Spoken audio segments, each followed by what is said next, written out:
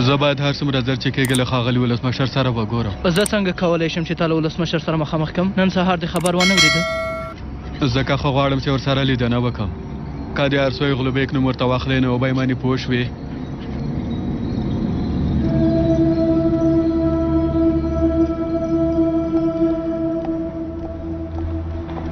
مېرمنې مهرباني وکړئ مېرمن نظیفه په کومه کوټه کې ده په بیړنۍ کوټه کې دی نه ناروغ سره دی مېرمنې په کوټه کې ورته په تمه اوسئ غواړم مېرمن نظیفه وګورم زوی یې ورسره نشته دی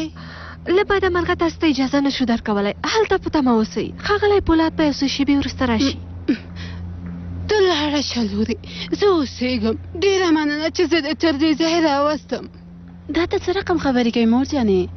هر وخت چې غواړې زه دې په خدمت کې یم مور جانې هیله کوم ژوندی اوسې مهرباني وکړئ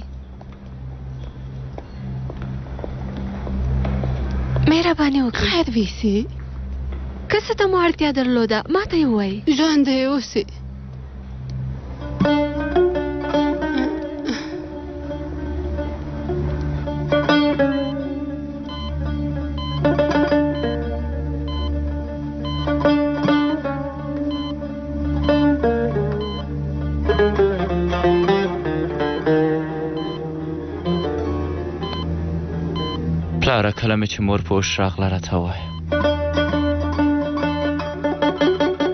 زه غواړم چې ورسره اوسم زوی جانه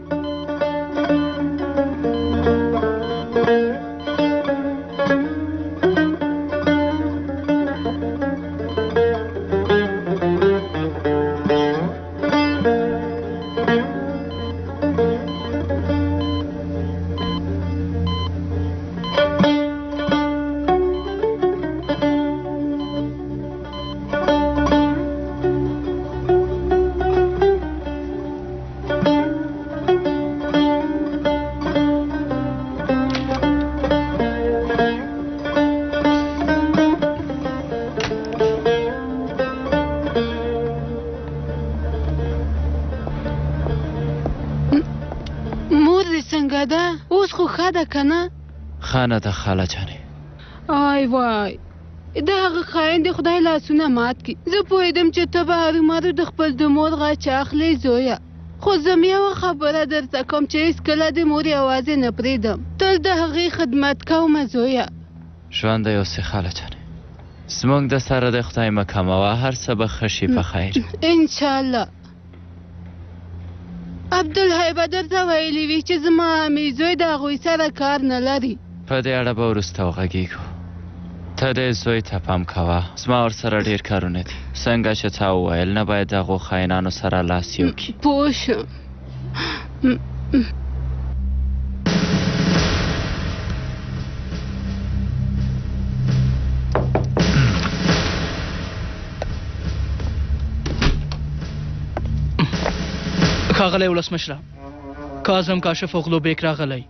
غواړي له تاسو سره وګوري دا خلک بیا په کوم جرأت غواړي چې زموږ ځای ونیسي ها ښاغلیه د ارڅو یو غلو په اړه ځنې مهمې خبرې دي چې باید ستاسو حضور ته وړاندې کی وای له تاسو پرته دی بل هیڅ اسانه نه غږیږم سمه ده را به غواړی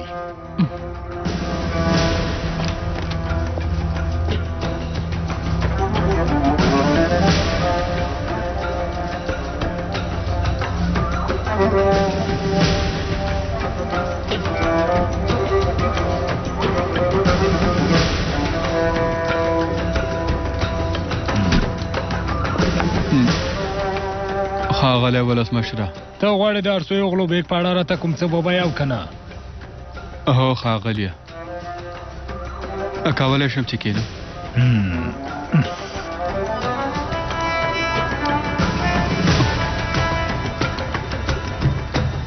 ښاغلیه زه پوهېږم چې ارسوی ستاسو د وژلو قصد کړی خو ښه شو چې په دې کار کې بریالی نه شو زه له ډېر وخته ارسوی پیژنم خو تر اوسه یې داسې خپل هیڅ یو کار نیم نه دی پریښی ته غواړې ووایې چې هغوی بیا کوم عملیات په لاره اچوي ښاغلیه هر چا چې په هغې مېلماسیا کې ګډون کړی و تر څو چې هر څو تاسې ټول له منځه وینسي نو هغه به هېڅکله هم ارامه کېنني دا ستا خبره ده او که د استخباراتو د استخباراتو ښاغلیه ستا وړاندیز څه دی ستاسو د خدمت کولو دوره ډیره کمه پاتې جنابه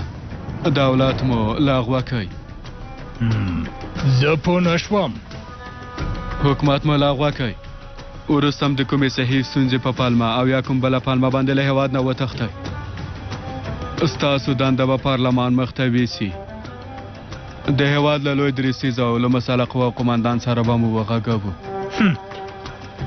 ته ماته یعنې د ترکیې ولسمشر ته د هغه په مقام کې ګواښ ورکوي زه نه غواړم تاسو ته دا ووایم چې څنګه غواړئ ژوندي پاتې شئ پولاد علمدار نه غواړي چې هرکله په ځای کې ووسي زه له دې ځای ورک شه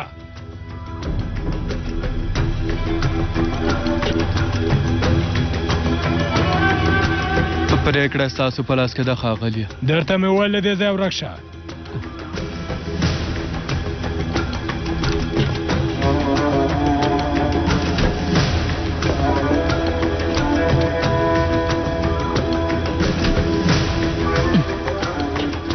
دا بیا دا به مو ولې ما ته راوستی وو څه بیا ادبي وکړه ښاغلیه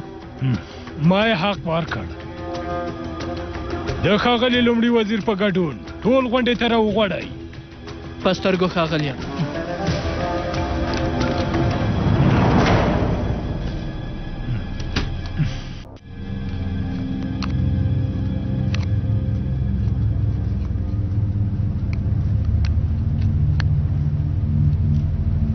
هر سوی مجبور دی چې د ځمکې لاندې لاړ شي د هغه کار خلاص دی نور هغه ځای ته هم نشي تلای رئیسه که هغه د ځمکې لاندې لاړ شي نو بیا یې موږ څنګه پیدا کړو آلپر ته ټلیفون وک هم داسې آلپر باید کومه پیدا کی رئیسا ارسوی نشي پټېدای مامتي زه هغه ډېر ښه پیژنم بیا برید کوي او دا ځل به له منځه ځي رئیسا هغوی خو باره ورځ غونډه نه نیسي چې ارسوی ورباندې برید وکړي غونډې نه خلاصېږي مامتي یو ورځ به بیا داسې یو محفل ونیسي آلپره رئیس غوښته یې د ولسمشرۍ مقام غوښته یم عبدالحیا دا چې هلته څومره پاتې کېږم نه پوهېږم همدا چې کار مې خلاص شو راځم سمه ده بیا خبر راکړه رئیسه هغه ولسمشر غوښتی دی اوس بټنه کېکاږي رئیسه دوی ارومرو پرېکړه کړې چې هر څو یې زندانې کړي. که هغه زنداني شو، که بیا کومه بله لاره نه وه، نو تا په مرمۍ ولم، په خپله زندان ته ورځه او هغه د نورو نوکر زه په خپله وژنه. زه نور داسې خلک نه پرېږدم.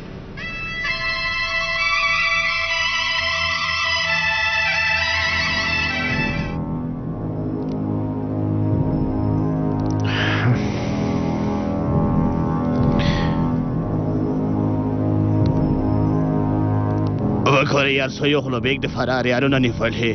تر پخانه محرکینو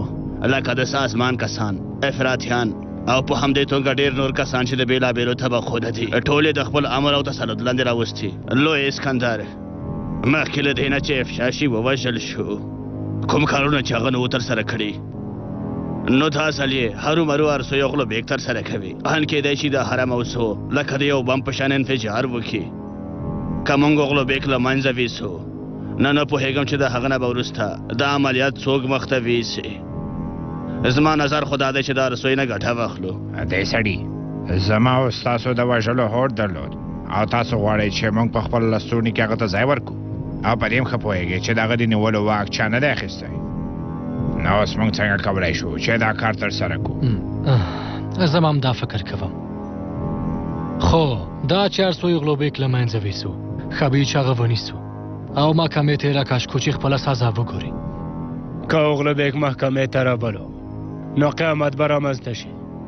د اوغلو بیګ دا قضیه دومره په اسانه نه حلېږي او بله دا چې هغه د دولت باور ته زیان رسوي او موږ به هم خپل باور د لاسه ورکړو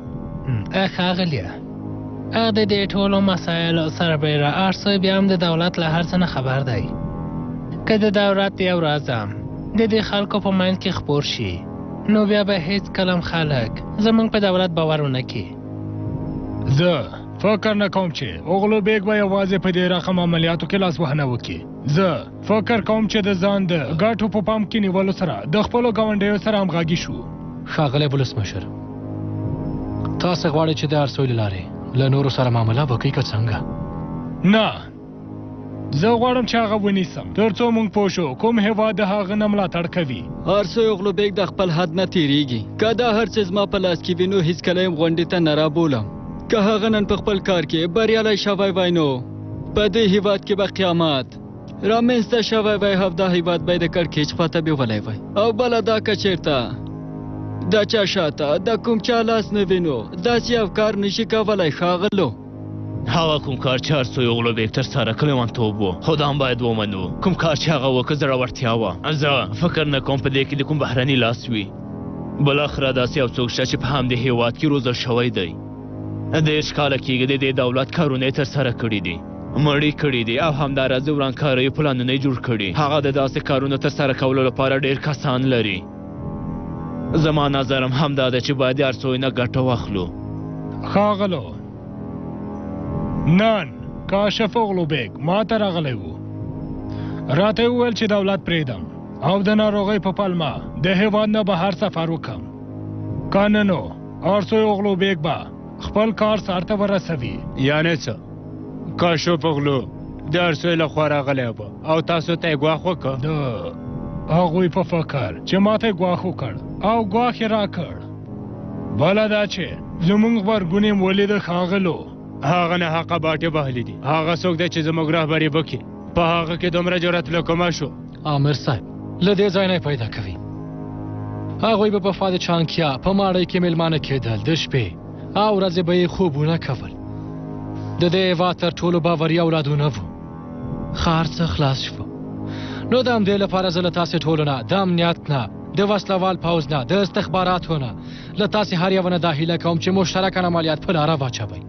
هر څوی به ژوندی ونیسو او زر تر زره به محکمې ته وسپارو تر څو ټول پوه شي چې د ترکیې دولت د دښمن په وړاندې یو موټی دی زه د لومړي وزیر سره همغږی یم مونږ باید په ګډه سره عملیات په لاره واچو تر څو ارسوی او غلو بیګ ونیسو هیڅ کومه مخالفه رایه نه غواړم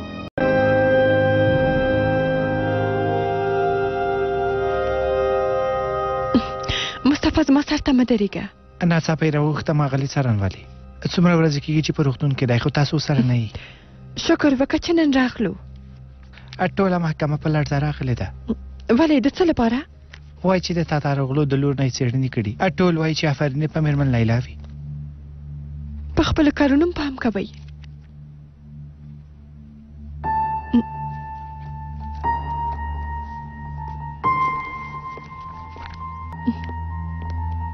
بیا څه دی فریده ته لیونی شوې که څنګه لیلا ته څه وای فریده زه ستا د ښېګڼې په اړه غږېږم لیلا زه داسې یو څوک یم چې ستا په اړه فکر کوم دې موضوع په اړه د خپله دنده په خطر کې واچوله په دې کار به دې تا له دندې وباسي څه چې له لاسه کېږي ودېږي انسان مسلک رامنځته کوي نه دا چې مسلک انسان داسې هیڅوک نه وینم چې ما له دندې لرې کړي یوازې ته نه یې مېرمن لیلا ستا د ځینو لیوانتوبو له امله له ما نه هم پوښتنه کېږي والې د څه لپاره پوهېږې چې زه ورته واده کوم لیلا یعنې چې ته وډار شوې یعنې له دندې دې ونه باسي او له تا نه یې سهاره تخلي همداسې ده ستا ډار مې په زړه کې دی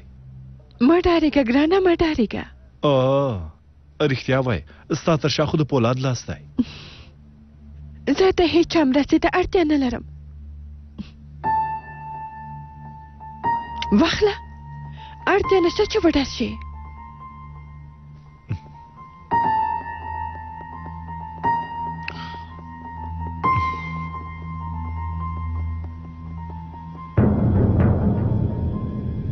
خاغله لومړی وزیره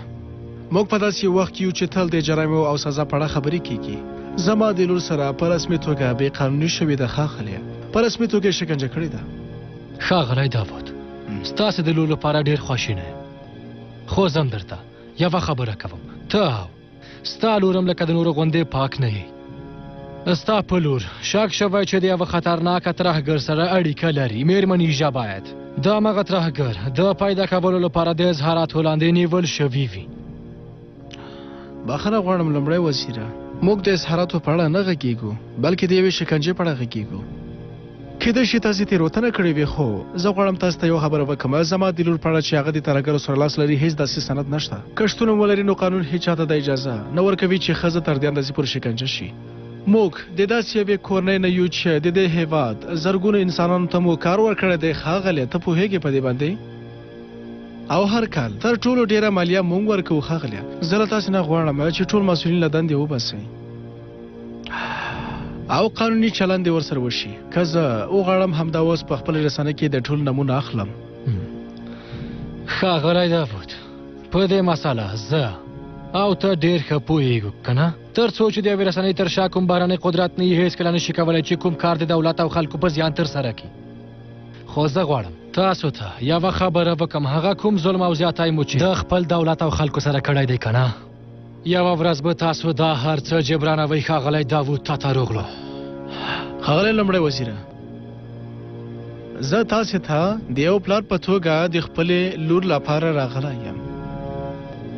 داوود جان زه ستا شکایت ته رومرو پام کوم زه نه غواړم لیلا د یوې سرنوالې په توګه وګورم او نه الپر د استخباراتو د کارکوونکي په توګه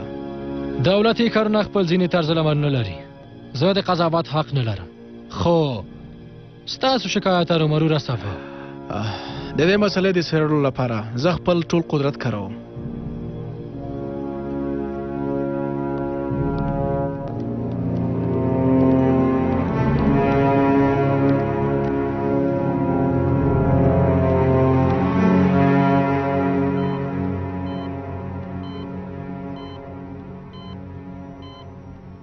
ډاکټران څه وایي زویه مور جانې ډېر زر به ښه شي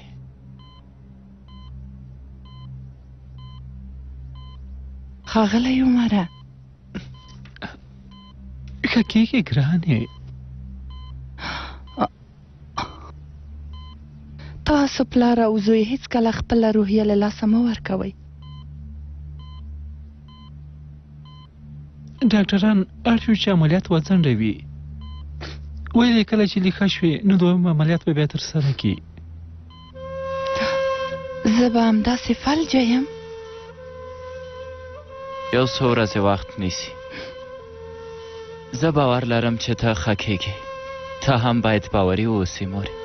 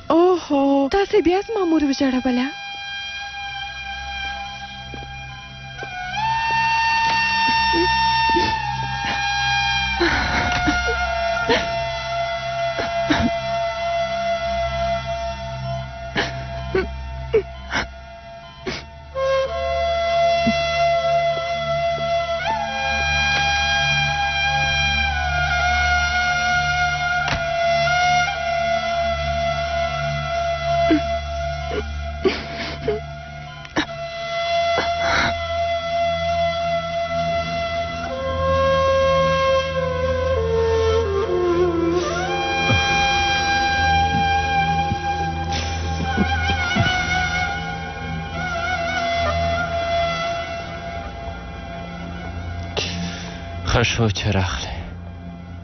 زه هیڅ نه پوهېدم چې څه وکړم ما ته یو چای راوغواړه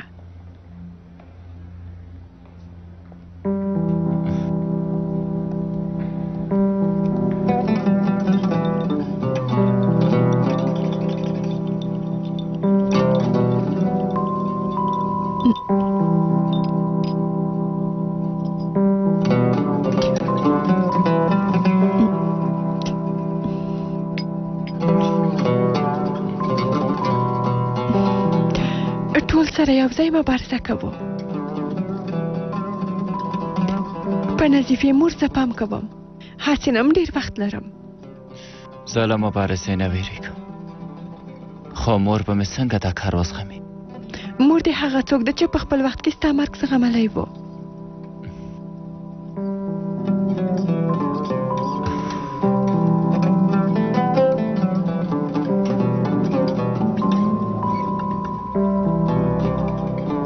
تا وویل چې ډیر وخت لري اوس نو ستا ملګري سره نولی ته اجازه نه راکوي هغه اسما ملګری نه ده سمه ده هغه ته اوس ورته هغه وایي کله چې ورسره وې دا خبرې دې نه کولې د همدې لپاره د هغه بیچاره شکنجه کوله که نه په قانون د زما مغزه وخوړل خو بیا بخیلۍ کې د هر څه هیر کړه د څه شي شکنجه دا راول خو کومه شکنجه نه ده پوله ده زه ورسره تر اوسه نه یم غږېدلی، خو داوود ما ته ټلیفون وکړ. په تا او الپر باندې ډېر په غوسه دی. ستونزه نشته، ته اندېښنه مه کوه، زه یو کار کوم. زه خو هسې نم ډارېږم نه، که رښتیا ووایم زه له فرید نه جلا شوم. ولې دې دا کار وکړ؟ زما ډارن انسانان نه خوښېږي. توبه، تا ته زه اوس څه ووایم؟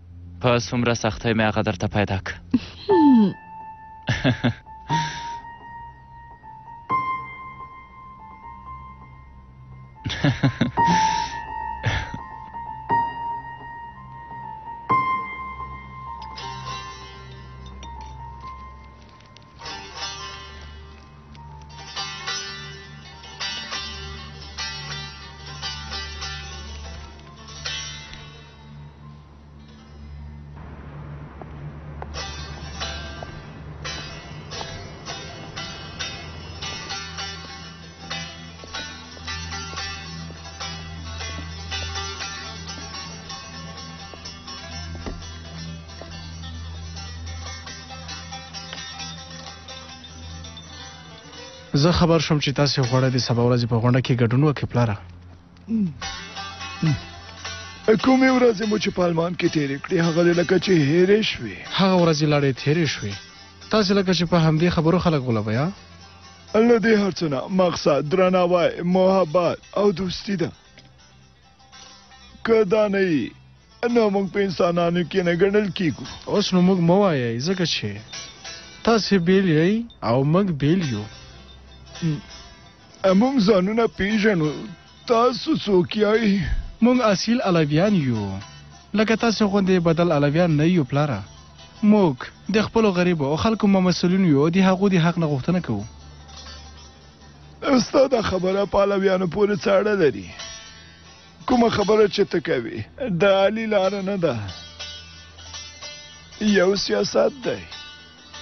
هغه کوم عالی چې تاسو ساری هغه یوازې یو تاریخي شخصیت دی موږ له ټولو غریبو خلکو نه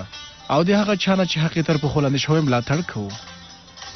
تاسو په پای کانفرنس کې تل همدا خبرې کوئ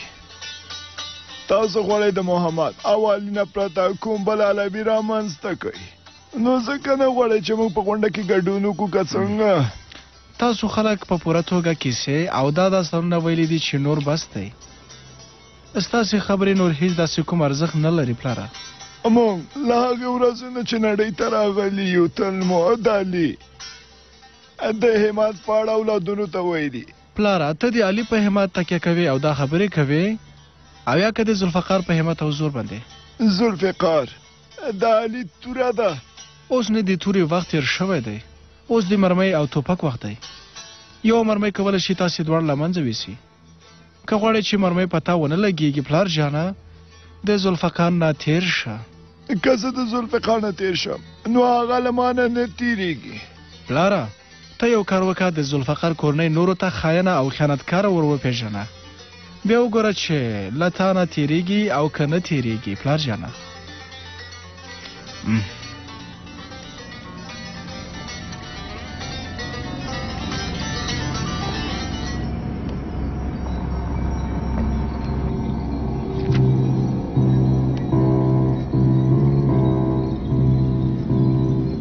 د توکیو بازار بالکل له منځه تللی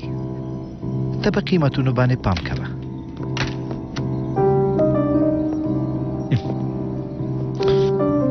ښه دی چې تاسو دواړه مې یو ځای ولیدلی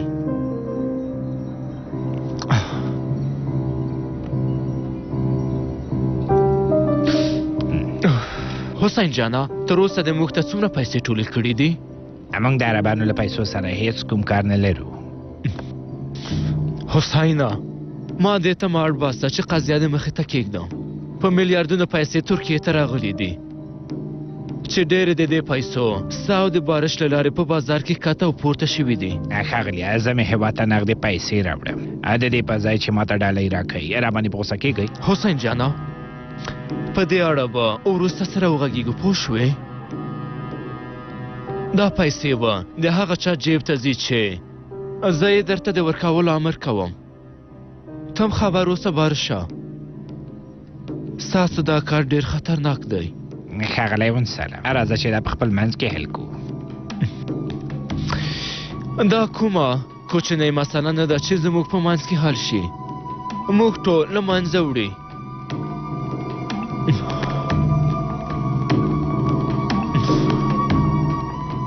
ډېر وخت کېږي چې نه یې کېدای شي د استانبول پیسې دې ډېرې کړې وي ځه چې ځو لږې کیسې وکړو وګورو چې په لیبیا او مصر کې څه روان دي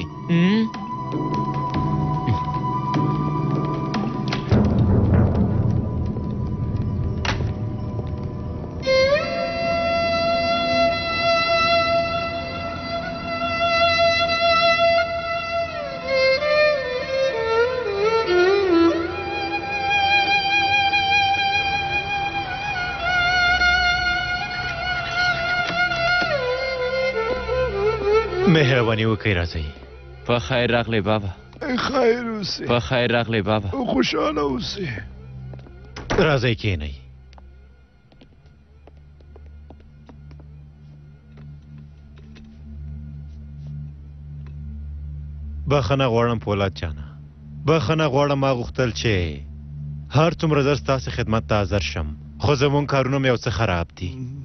ان شاء الله چې خیرات دی خانه زمونږ په منځ کې یو څه ستونزه را پیدا شوې ده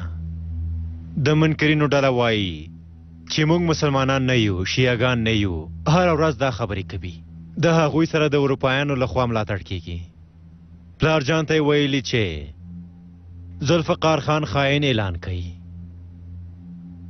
تا ته یې ګواښ کړی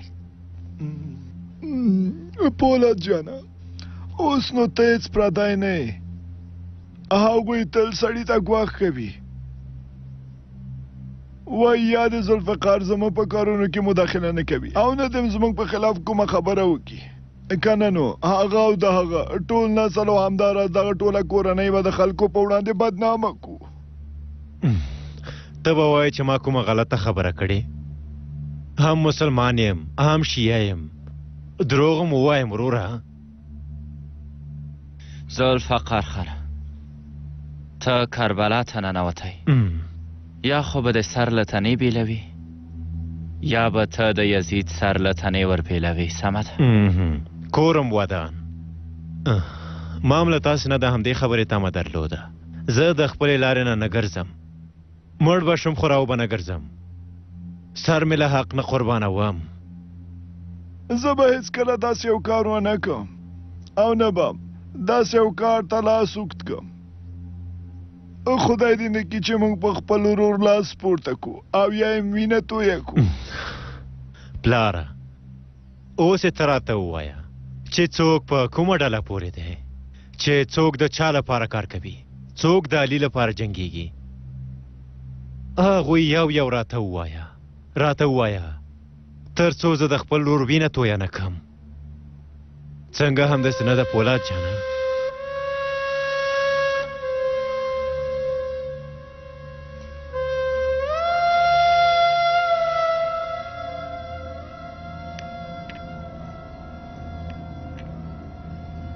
په اورپا کې کې مزمن کوم لاتر ډېر کارونه سرته ورسول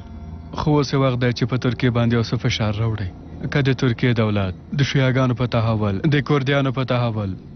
خپل ستونزې حل کی او د سیمې په رهبر بدل شي اکه د شیعاګانو تحول پریالیتوب ته ورسیږي نو زموږ ټولې هڅې به بې ځایه لاړې شي. کېدای شي ستاسې باور له خاورې سره خاورې شي. تاسې د ترکیه دولت ډېر قدرتمن و، خو د ښاغلی کون طرح همداسې نه ده. زر کلنې ستونزې په دې شان غونډو او ناستو باندې نه حلېږي وکیله.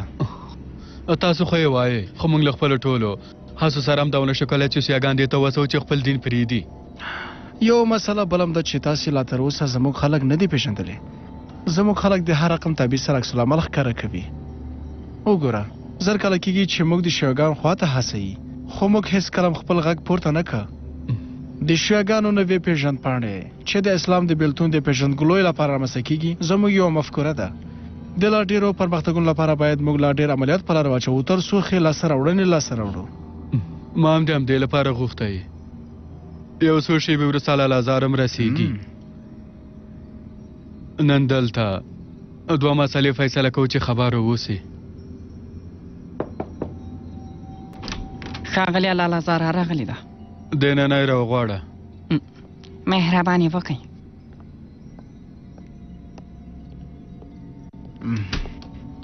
اغلی وکیل په خیر راغلی د مهربانۍ نه مو ډیره مننه خو تر اوسه په رسمي توګه نه یم ټاکل شوی زه پوهېږم چې ستا وکیل کېدل د ترکیې خلکو او ملت پورې سړی کنه لري خو مونږ غوښتل چې تاته یو تبریکی درکو استاد خو پیژنئ تاسو څنګه یې نو مې درته اورېدلی و ښاغلیه زه په غیاب کې ګورم او خبرېږم چې تاسو مو د خلکو لپاره څومره زحمت باسئ ډېره مننه استاده خو ستاسو خپل خلک کوم ملاتړ چې باید له مانه وکړي هغه نه کوي زه هم د همدې لپاره هڅه کوم چې دوه مظلوم ملته څنګه سره یو شي او له بل سره مرسته وکړي تاسو زموږ یووالی نه بلکې زموږ بیلتون غواړئ کله کله بیلتون او نفاق د یوې ټولنې په ګټې میرمنې نننۍ اروپا مخکې له دې چې دیموکراسي ته لاره پیدا کړي ډېرې مذهبي جګړې شاته پریښې دي کله چې پوه شول چې د جګړې له لارې له منځه ځي نو اړ شول چې د یو بل سره روغه وکړي په دې کې ترکیه هم لکه د نورو ملکونو غوندې دوه سوه کاله شاته پاتې شوه، نو تاسې هم باید وجنګېږئ تر څو چې په راتلونکي کې تاسې هم بخښنه غوښتل زده کړئ پوه شوئ. تاسې سمه خبره کوئ ښاغلی کونتره. ګلادیو مخکې د سپتمبر له دولسمې د سونیا په منځ کې او د شیعهګانو په منځ کې دا هر څه وازمایل. تر یو څه اندازې پورې په دې کې بریالي شو. په اماسیا، چوروم، ماراش کې یې ښه بریالیتوبونه ترلاسه کړل. خو په دواړو خواوو کې چې. کوم لوی خنډ شتون درلود هغه دا و چې غوښتل یې د دواړو ډلو رهبري په غاړه واخلي. موږ د خپلو ملایانو سره له نږدې نه خبرې وکړې استاده. خو هغه پروفیسران او هغه مارکسیستان چې پخوا و به نشو کړای چې په دې برخه کې د خپلو خلکو قناعت ترلاسه کړي. موږ خپل ټول ملایان خنثی کړل خو هغوی ونه شو کړای چې خپل نیکونه ووژني که هغوی نشي وژلی نو تاسې وژنې هماغه څه چې مخکې مې درته وویل دواړه قومندانان باید له بل سره کومک وکړي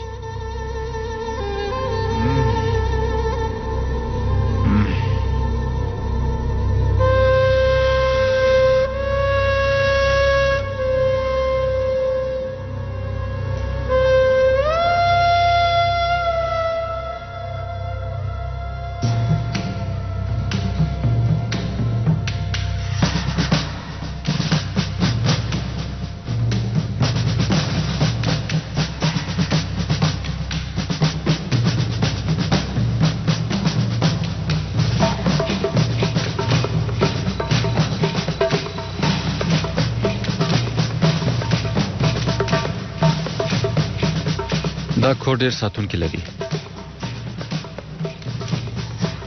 که د باندې نه لارې نه پیډه زیونه کو زمونږ دا جګړه به ډیره وغځيږي هم مرګ ژوبله به پریدي او په همدې توګه وسلواله جګړې و په خارونو کې د خلکو فکرونه ګډوډ کړي رښتیا دی وایي کله چې لکه غاګ واوریدل شي هغه به وتختی که هغه غافلګیر کو نو دا مو په ګټه ده عملیات باید د سهار د اذان نه مخکې وشي یو هوایي ډله به سنې ته ننوځي او بله ډله به له دې لارې موږ به د منځ له لارې نه مرسته کوو کله چې د نفاس ډلې په دهلیز کې د امن فضا رامنځته کړه بیا موږ دننه ورځو او هغه نیسو هر څه یو غلوبیک نه باید وشل شي دا د لومړي وزیر امر دی باید ژوندی ونیسو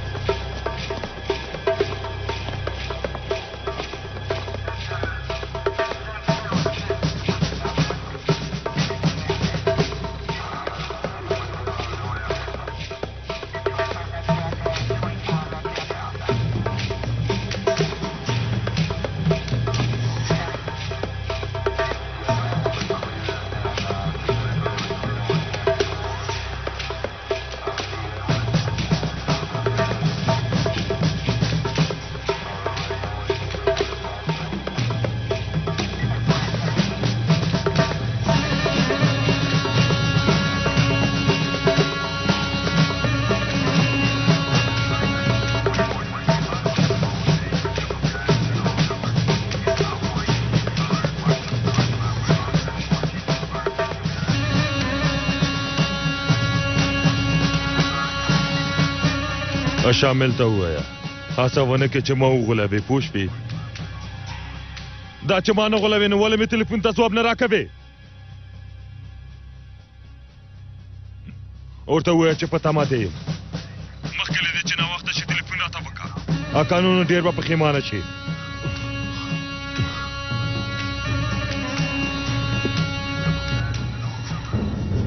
قسم مې خوړلی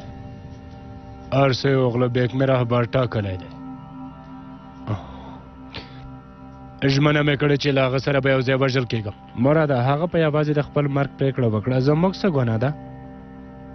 کوم کار چې هیڅ عقلانه نه دی څنګه یې جرأت وکړ چې د دولت رئیسان له منځه یوسي هغه وویل چې موږ د یو مجلس غړي یو نو بیا یې ولې له موږ سره مشوره ونه کړه که ټولې وژلي وای بیا مې هېڅ هم نه ویل پولاد علمدار زموږ دښمن دی د ټولو دښمنیو سربیره په دولت کې هم کوم دوست نه لرو ارسه اوغله بیگ په تا باندې احسان کړی هاشم خانه کلونه له تانه د سازمان په وړاندې ملاتړ کړی ما هم یو احسان ادا کړی د هغه سره مې په ډیرو بدو ورځو کې مرسته کړې ده مراد جانه زه د په حالت پوهېږم ځینې خبرې دې سمې دي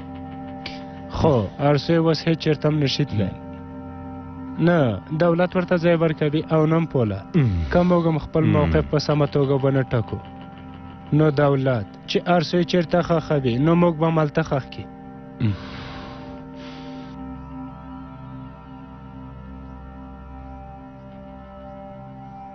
د هر سوی غلو بیګ ډېرې پیسې له مونږ سره دي ښاغلو که هر سوی غلو بیګ مړ شي نو موږ ټول به د ډیرو پیسو خاوندان شو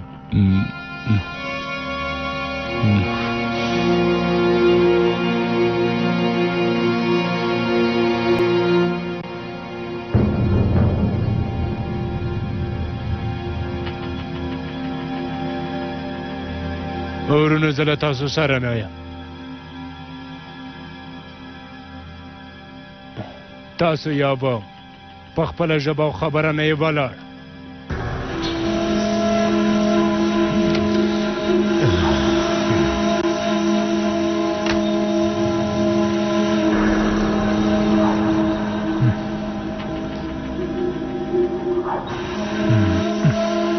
مراد زمونږ لپاره یو ستونزې جوړېدای شي تر اوسه لا ځوان دی او د هغه ټپم تازه دی نه غواړي چې موږ سره اوسي خو فکر نه کوم چې ارسوی ته هم ورشي ډېر هوښیار دی. د پولاد سره مو اړیکه څنګه جوړه کړو ځکه چې هغه دولت ته ډېر اعتبار پیدا کړی. پولاد زما خپل دی اندېښنه مه کوئ. زما خبره مني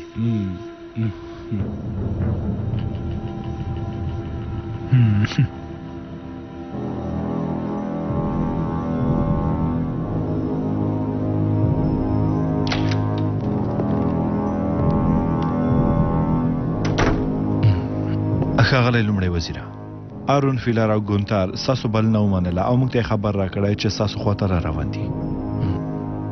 شامل خاغلیا شامل هربون د اسرایل یو غونډه ته تللی دی دلته نشته خو همدا چې راغی ساسو لیدو ته براشي خاغلیا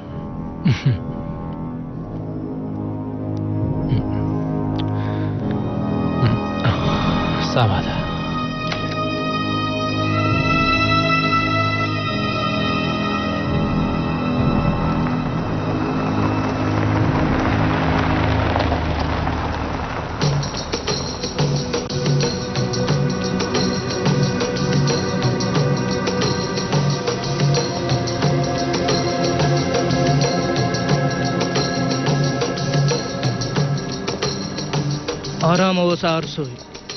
تم په هیڅ چا نه یې خرڅ کړی دا چې په عملیاتو کې ناکام شو په دې مو ګرام مه بوله زموږ هر ډول ملاتړ له تا سره ده اندېښنه مه کوه تم د فلار له لاسه ونه ژغورلي ووایه نو بیا زه ولې داسې یو کار وکم څنګه پوه شم څنګه باور وکم چې تاسو د دې کار نه مخکې کوم پلان و جوړ کړی کېدای شي تاسو د ترکیې له دولت سره زما په سر معامله کړې وي او زما پرې خرڅ کړی اوسم کېدای شي چې ستاسو مقصد دا نه چې هغه له منځه یوسئ بلکې کېدای شي یوازې ډارولي ته هېڅ نه پوهېږي چې څه وایې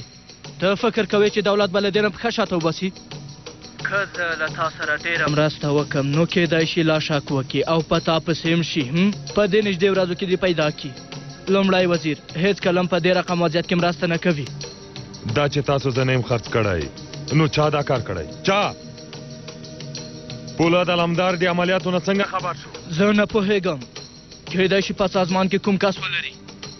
زه هم د همدې خبرې د پوهېدو لپاره هڅه کې یم. ته اندېښنه مه کوه.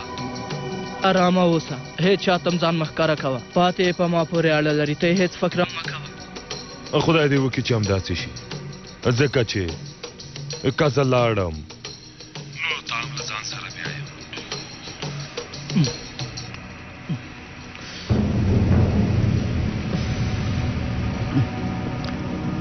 تاسو څه امر کوئ ښاغه جا ترکان غواړي چې د ارسوی په ضد عملیات په لاره واچوي ارسوی نه باید په دې عملیاتو کې ژوندی پاتې شي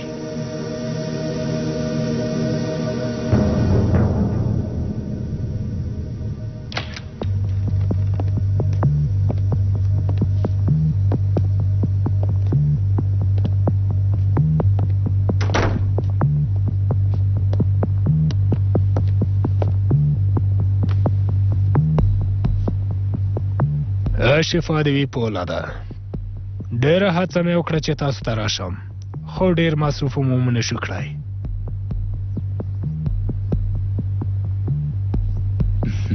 په هیګ ته د په کارو کې ډیر بوخت وې ځکه نه راتلې اوس لکه بې سرپوخه دیګ پاتې شو چې راغلی همداسې نه ده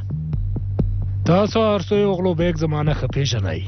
مخکې له دې چې د هغه خبره رد کو ښه شوه چې په ژوره کنده کې ولوېده اوس نو موږ حق په جانبه وګڼل شو یا شرخانه که د هر څه په پته پوهېږه راته یې ووایه تر څو دې په ژوند کې یو ښه کار وکړې موږ دې بخو او ښه ژوند ولره له کورنۍ سره دی زه کوم معامله کوونکی نه یم ما د ترکیې تر ټولو د یوه غوره انسان سلام تاسو ته راوړی دی هغوی غواړي له پولاد سره ووسي او یو ځای ورسره حرکت وکړي ورته زما سلام وایه هر کله مې چې ارسوی له منځه ویوړ نو خدمت ته د حاضر یم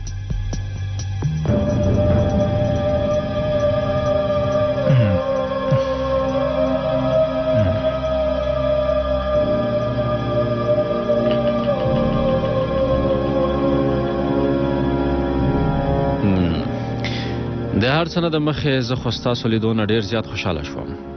زه خبر شوم چې تاسو په ډیره سختۍ ځان وژغوره د ترهګریزو عملیاتو ډیر خپه کړم او همدا راز ډیر په غوسه کړم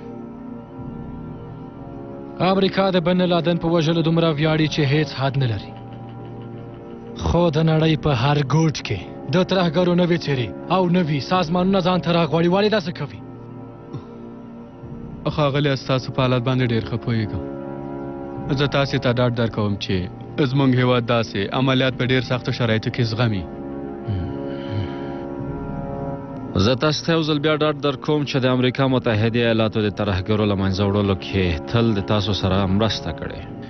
که د ترهګرو سره په جګړه کې زموږ هر رقم مرستې او همکارۍ ته اړتیا وه نو موږ در سره یو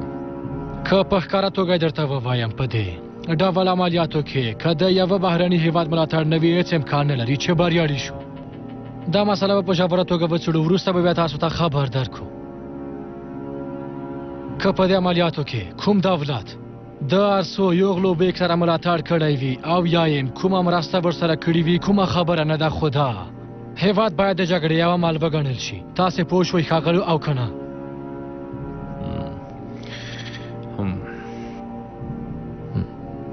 زما خبرې هم دومره وې بس